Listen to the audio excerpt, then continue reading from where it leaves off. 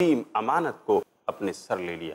अल्लाह रब्बुल ने इसको जो इम्तियाज़ात दिए हैं, जो और दूसरी मखलूक़ात में हम नहीं देखते, जैसे इसमें इदराक है, इल्म है, इसके पास इरादा और मशीयत इसकी अपनी चाहत है, इसके पास अक्ल और शूर की नहमत है कि आज ये इंसान पर ना होते हुए भी हवाओं की दोष पर उड़ने लगा और घंटों का सफ़र मिनट और सेकंड्स में तय करने लगा।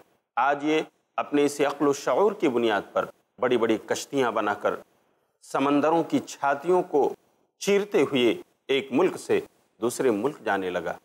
यही इंसान अल्लाह रबालमीन ने इसके लिए जो दूसरी मखलूक़ात पैदा की हैं, अल्लाह ने उन मखलूक़ात को इसके लिए मुसखर कर दिया है।